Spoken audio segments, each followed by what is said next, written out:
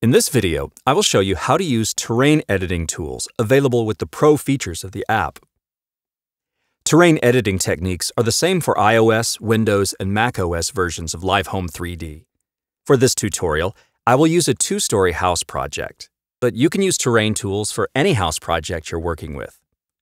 All the terrain work is usually done in the 2D view, while the 3D view is used mostly necessary to preview the result. Now let's switch to the 2D view mode.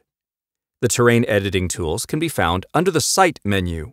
As you can see, only Terrain Rectangular and Terrain Polygonal tools are active at the moment. Let's see what they do and how the rest of the tools can be activated.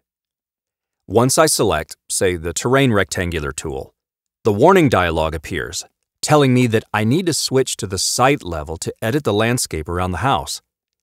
I switch to the site level, and as you can see, the house plan view changes to outline. And now I can add terrain elements. As you may already know, switching between levels, as well as adding the roof, can always be done with the help of the Building Properties tab of the inspector.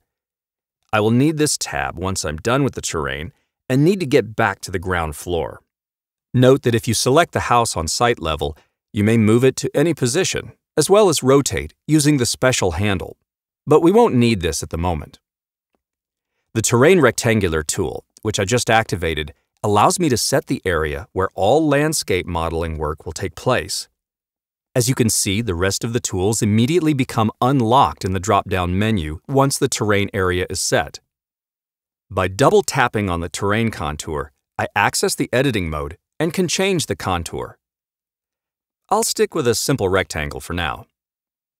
If I switch to the 3D view, you will see that the terrain is actually a flat surface at the moment. It happens because points that form the terrain contour were not assigned elevation yet.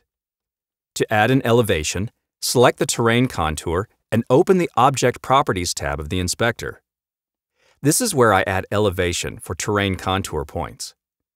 For example, to create a simple slope incline from the right to the left, I need to add elevation to points 1 and 4 say 2 feet.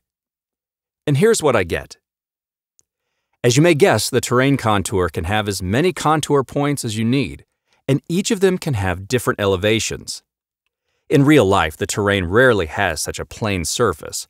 Usually it has some bumps and depressions.